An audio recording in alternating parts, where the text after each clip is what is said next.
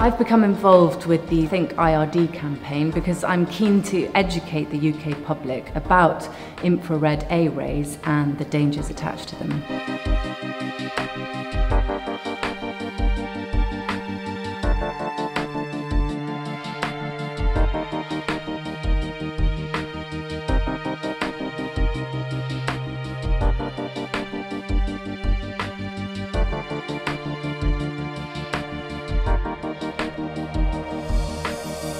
I was brought up by parents who were meticulous about sun care protection when I was a child, and I am now the parent who slathers my daughter in sun care protection from head to toe. It's important to be concerned about the sun for one's health, but we are a culture that are concerned about the process of aging.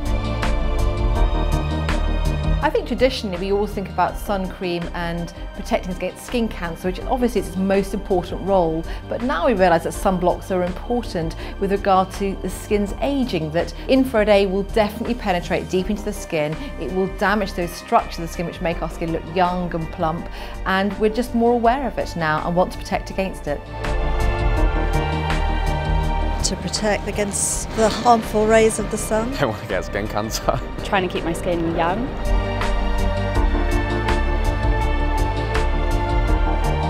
I've never heard of that before. No. No. No, no idea. no, I've never heard of it.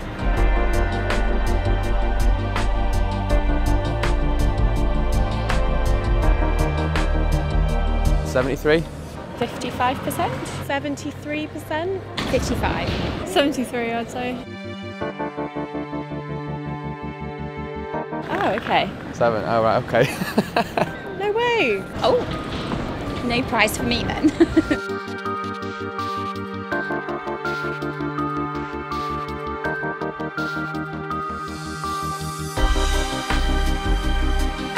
The more we discover about the damage the sun can do, the better equipped we are to defend against it.